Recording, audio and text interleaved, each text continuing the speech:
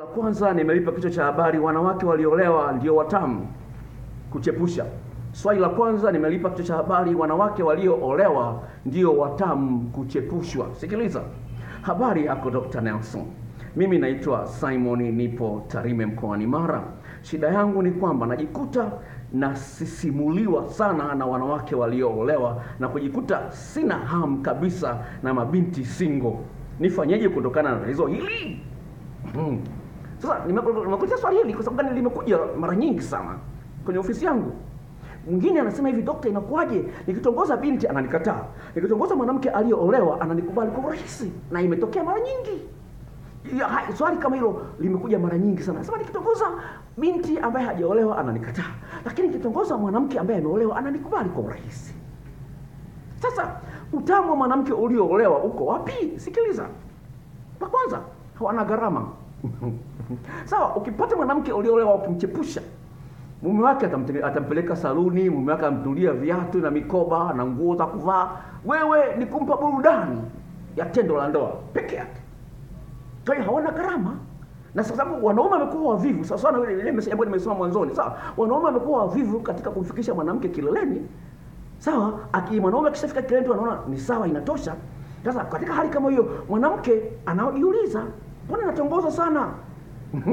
Mbona natongozwa sana lakini mume wangu hanioni kwamba mimi ni mtamu? Sawa? Hanioni kwamba ni mtamu. Kwa hiyo ngoja nijaribishe nje. Akijaribisha analambwa mpaka meno. Anasikia utamu ambao mume wake hajawahi kumpa. Atakuwa kichaa.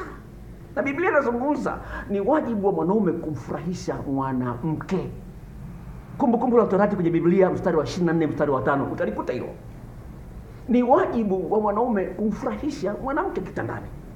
Sasa wanaume wengi wamekuwa wavivu. Biblia inasemaje? Mwanaume ambaye ameshindwa kumfurahisha mwanamke ni wa kudharauliwa kabisa. Wimbo uliobora kwenye Biblia sura ile ya nane mstari wa saba wa kudharauliwa kabisa. Kwa hiyo wanaume wengi wanadharauliwa, wanaambiwa wanaume suruali mwanaume suruali huyo, achana naye eh, jamani. Kaka mmoja akapata demu la chuo kikuu Sauti, alafu hana nguvu za kiume, acha atangazwe.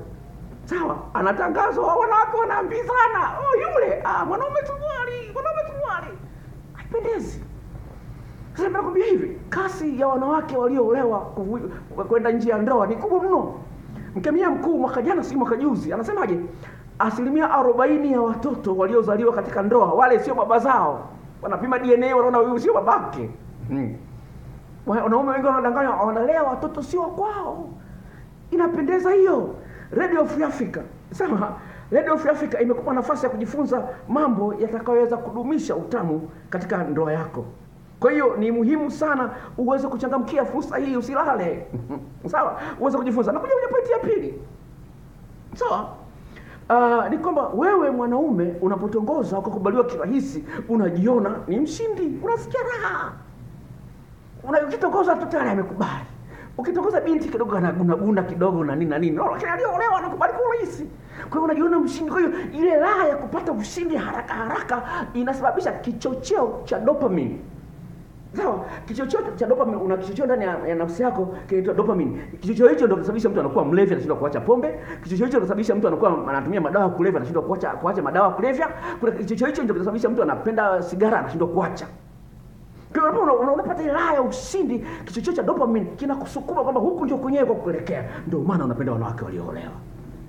Kwa hiyo inakupa utamu wa kumpata mwanamke aliyeolewa. Unajikuta unajikuta lingine ambalo lipo, unapendelea wanawake walioolewa kidogo, wana uzoefu sawa. Mwanzoni mwa ndoa walikuwa wanafanya mapenzi kwa muda mrefu na wake na waume zao, lakini baada ya kuzalia kuzaa mwanamke kidogo uke wake unatanuka, mwanaume anaona ah, mwanamke ana utamu, uke wake umetanuka, lakini uzoefu wa kumwandaa mwanaume anao. Sasa ukikutana na mabinti, mabinti wale hawana uzoefu, huyo ana uzoefu sawa, ana uzoefu. Kwa hiyo unamuona naye ni mtamu ukilinganisha na mabinti. Kwa hiyo ukilinganisha na mabinti na, na hao walioolewa, unaona wanawake walioolewa ndio watamu zaidi. Kwa hiyo akili yako imelewa imelewa utamu wa wanawake walioolewa. Kwa hiyo unahusianisha utamu wa tendo la ndoa na mke mwanamke aliyeolewa. Kwa hiyo unajikuta kwamba unapendelea, ukisikia tu ameolewa, kama ni mke wa rafiki yako unamtaka. Angalia utakuja mchukua mke hata wa dada yako wa wa kakako, inawezekana kabisa.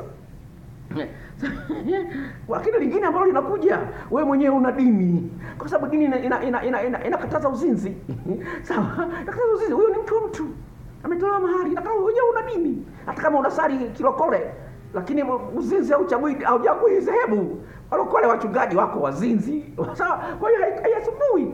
Kwa hiyo jirekebisha katika maeneo hayo, anza kujizoesha na mabinti ambao hawajaolewa. Unajikuta unaanza kuwa mlevi wa mabinti single. Inapendeza. Wanaume bwana, tumeumbwa na vichocheo kutamani tendo la ndoa. Hata kama ana mimba mwanamke unamtamani.